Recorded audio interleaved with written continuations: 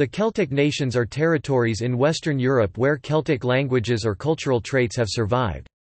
The term, nation, is used in its original sense to mean a people who share a common identity and culture and are identified with a traditional territory. The six territories widely considered Celtic nations are Brittany Breizh, Cornwall Kernow, Wales Cymru, Scotland Alba, Ireland Eire, and the Isle of Man Mannin or Ellan Vannin, commonly referred to as the Celtic Fringe. In each of the six nations a Celtic language is spoken, Brittonic or Brythonic languages are spoken in Brittany, Cornwall, and Wales, while Goidelic or Gaelic languages are spoken in Scotland, Ireland, and the Isle of Man. Before the expansions of ancient Rome and the Germanic and Slavic tribes, a significant part of Europe was dominated by Celts, leaving behind a legacy of Celtic cultural traits. Territories in northwestern Iberia, particularly Galicia, northern Portugal and Asturias, historically referred to as Gallaecia and Astures, covering north-central Portugal and northern Spain, are considered Celtic nations due to their culture and history.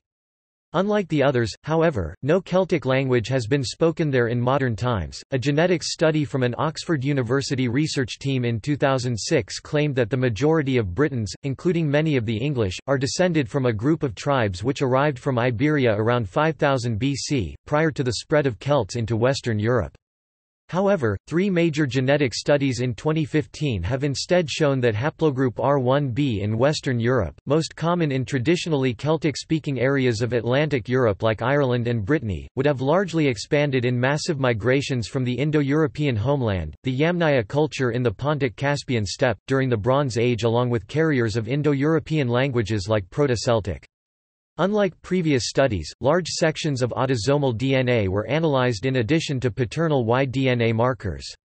They detected an autosomal component present in modern Europeans which was not present in Neolithic or Mesolithic Europeans, and which would have been introduced into Europe with paternal lineages R1b and R1a, as well as the Indo-European languages.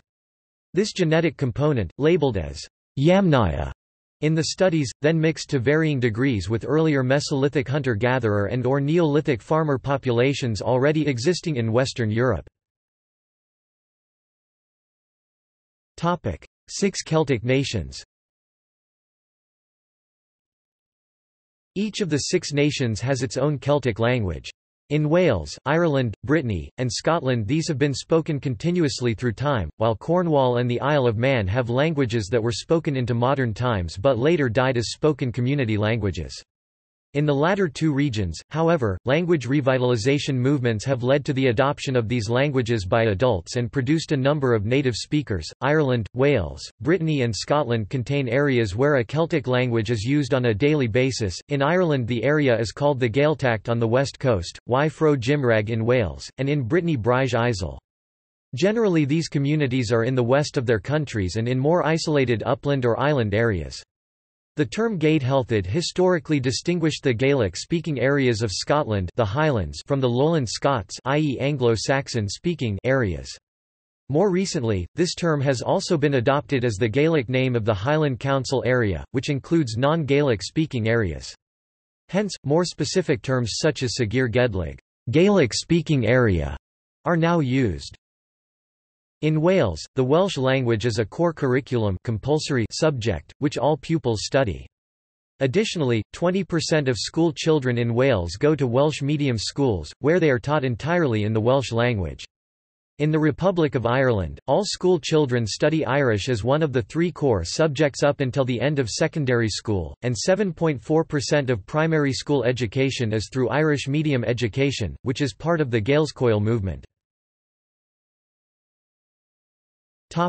Other territories Parts of the northern Iberian Peninsula, namely Galicia, Cantabria, Asturias and northern Portugal, also lay claim to this heritage.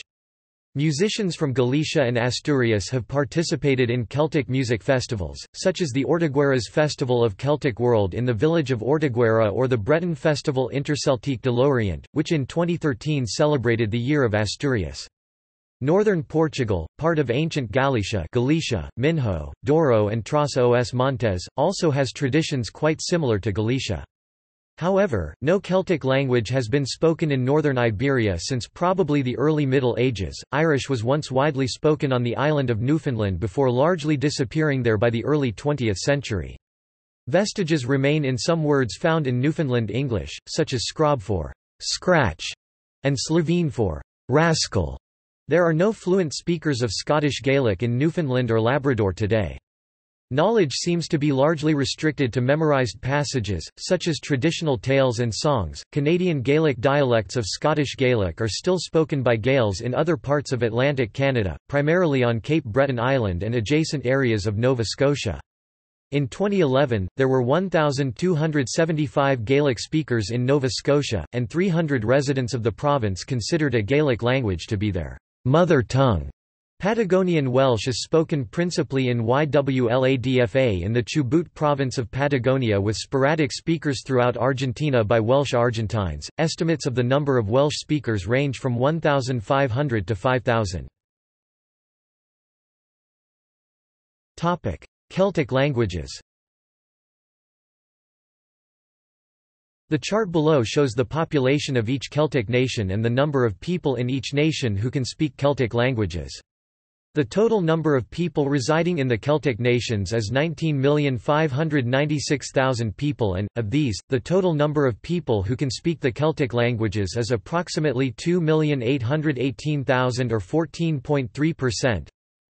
1 The flag of the Republic of Ireland is used by the Celtic League to represent Ireland, although there is no universally accepted flag for the whole of the island. Of the languages above, three belong to the Goidelic or Gaelic branch Irish, Scottish Gaelic and Manx and three to the Brythonic or Brittonic branch Welsh, Cornish and Breton. Their names for each other in each language shows some of the similarities and differences. Celtic identity Formal cooperation between the Celtic nations is active in many contexts, including politics, languages, culture, music and sports. The Celtic League is an inter-Celtic political organization, which campaigns for the political, language, cultural and social rights, affecting one or more of the Celtic nations. Established in 1917, the Celtic Congress is a non-political organization that seeks to promote Celtic culture and languages and to maintain intellectual contact and close cooperation between Celtic peoples.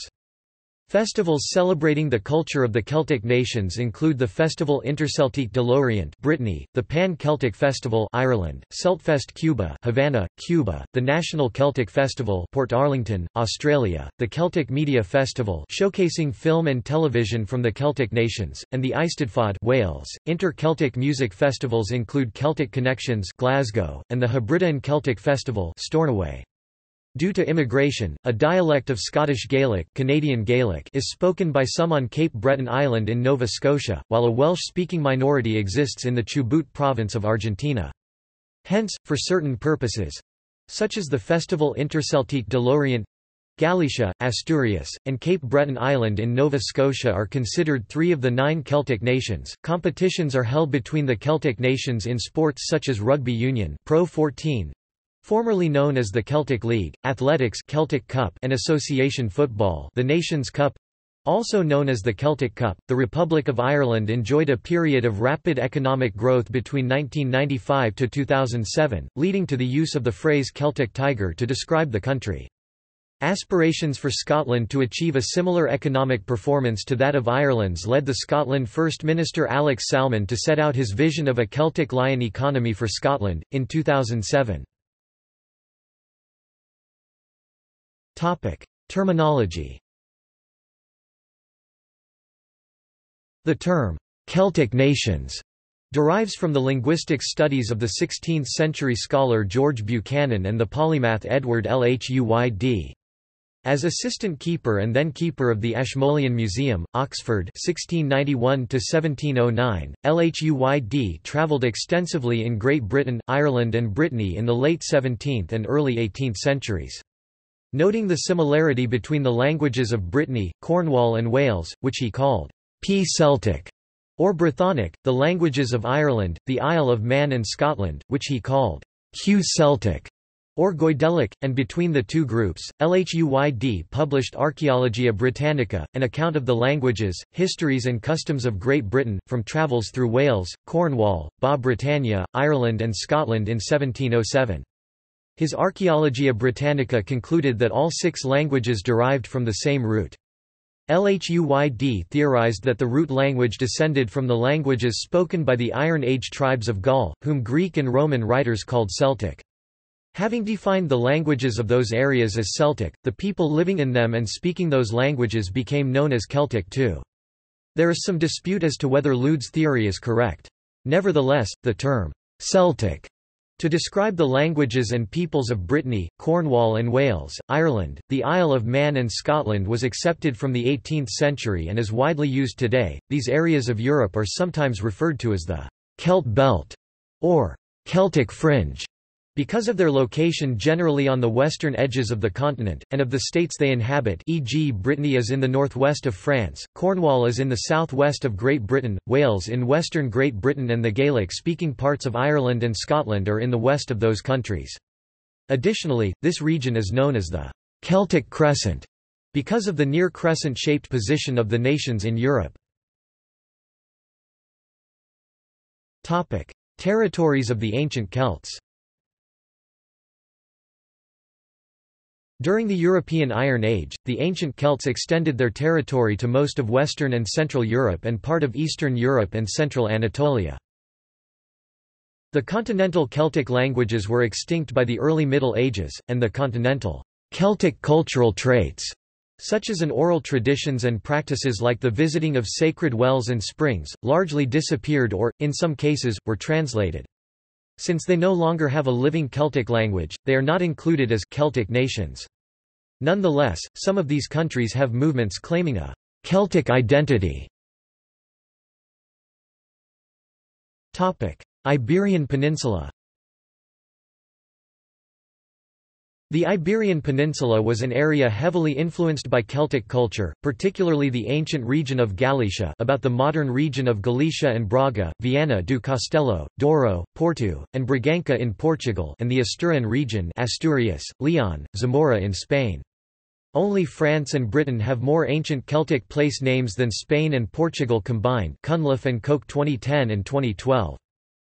Some of the Celtic tribes recorded in these regions by the Romans were the Galaeci, the Bracari, the Astures, the Cantabri, the Celtici, the Celtiberi, the Tumorgogi, Albion and Serbarci. The Lusitanians are categorized by some as Celts, or at least Celticized, but there remain inscriptions in an apparently non-Celtic Lusitanian language. However, the language had clear affinities with the Galician Celtic language. Modern-day Galicians, Asturians, Cantabrians and Northern Portuguese claim a Celtic heritage or identity. Although the Celtic cultural traces are as difficult to analyze as in the other former Celtic countries of Europe, because of the extinction of Iberian Celtic languages in Roman times, Celtic heritage is attested in toponymics and language substratum, ancient texts, folklore and music. At the end, late Celtic influence is also attributed to the 5th century Romano-Briton colony of Britonia in Galicia. 10th-century Middle Irish mythical history Lebor Gabála Érenn Irish, Leabhar Gabhala Érenn credited Galicia as the point from where the Galaic Celts sailed to conquer Ireland. England In Celtic languages, England is usually referred to as Saxon land Sasana, Pow Sows, Bro Saoz etc., and in Welsh as Lloegr though the Welsh translation of English also refers to the Saxon root, Saesneg, with the English people being referred to as Saeson or Saes in the singular. The mildly derogatory Scottish Gaelic term Sassenach derives from this source. However, spoken Cumbric survived until approximately the 12th century, Cornish until the 18th century, and Welsh within the Welsh Marches, notably in Archenfield, now part of Herefordshire, until the 19th century. Both Cumbria and Cornwall were traditionally Brythonic in culture. Cornwall existed as an independent state for some time after the foundation of England, and Cumbria originally retained a great deal of autonomy within the Kingdom of Northumbria. The unification of the Anglian Kingdom of Northumbria with the Cumbric Kingdom of Cumbria came about due to a political marriage between the Northumbrian King Oswiu and Queen Rhieinmelth in Old Welsh, a then Princess of Rheged.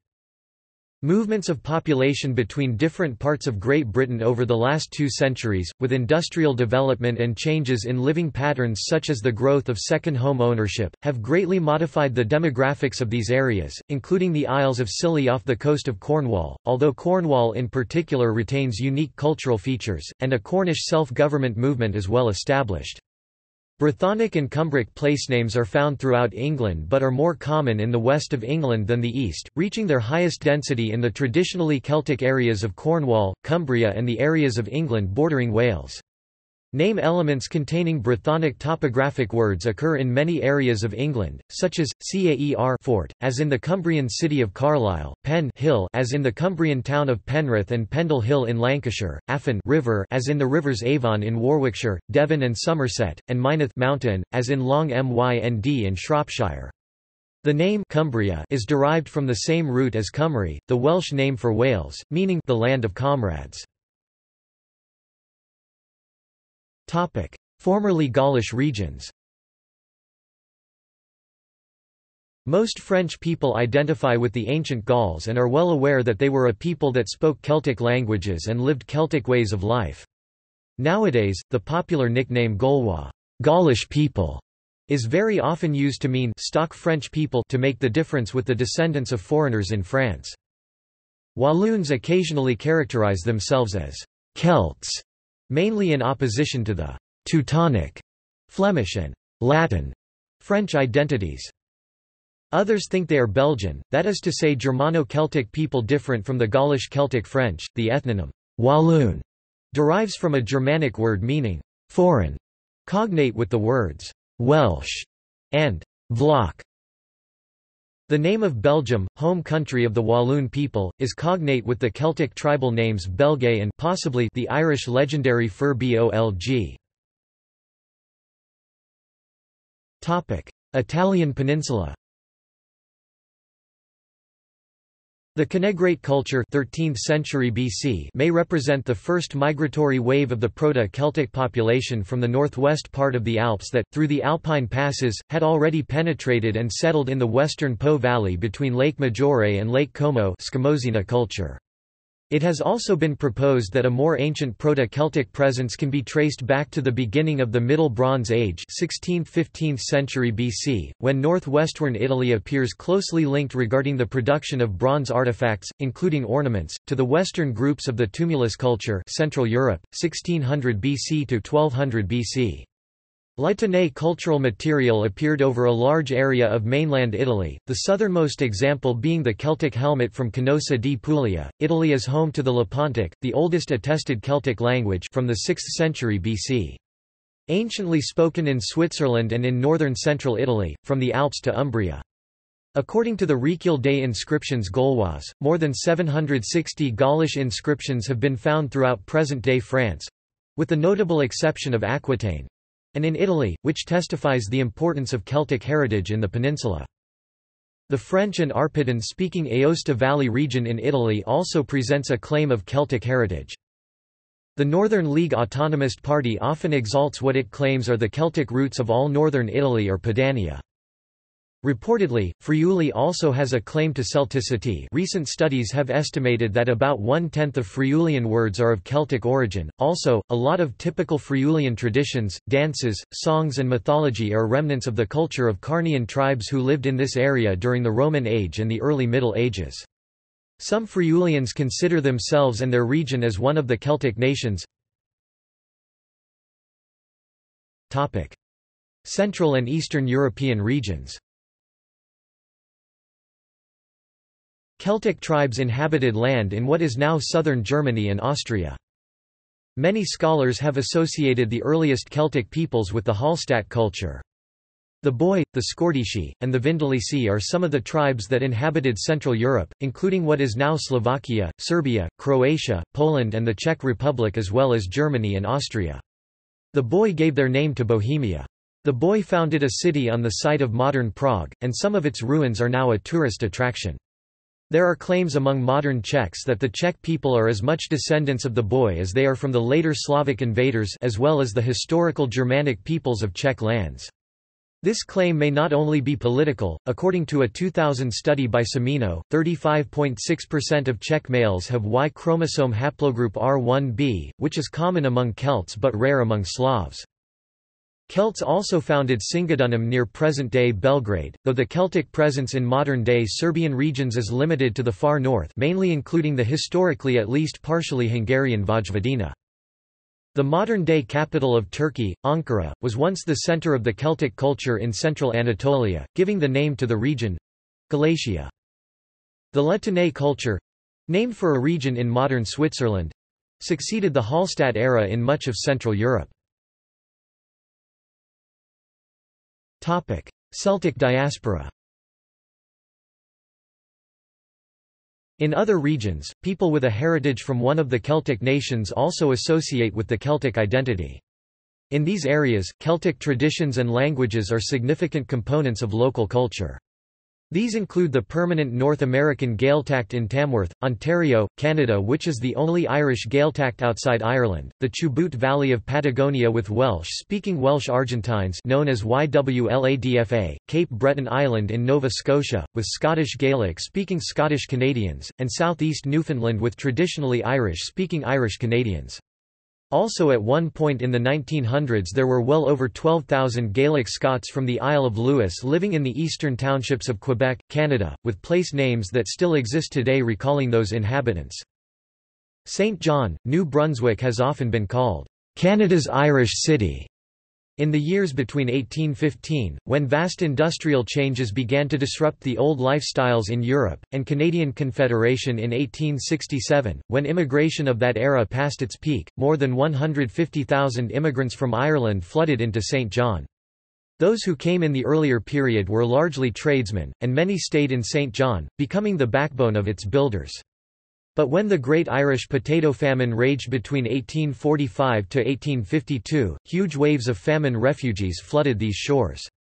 It is estimated that between 1845 and 1847, some 30,000 arrived, more people than were living in the city at the time. In 1847, dubbed Black 47, one of the worst years of the famine, some 16,000 immigrants, most of them from Ireland, arrived at Partridge Island, the immigration and quarantine station at the mouth of St. John Harbour. However, thousands of Irish were living in New Brunswick prior to these events, mainly in St. John.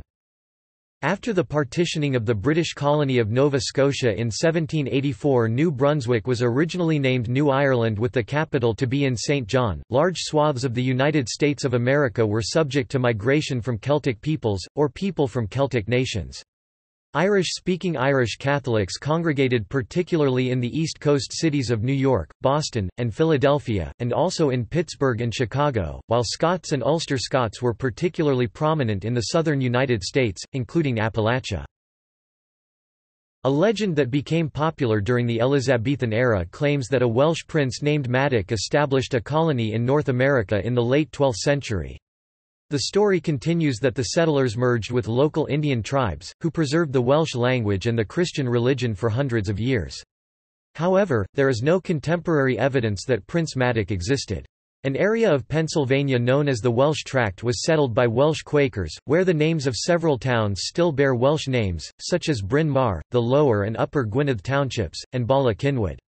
In the 19th century, Welsh settlers arrived in the Chubut River Valley of Patagonia, Argentina and established a colony called Y Wladfa Spanish, Colonia Galesa.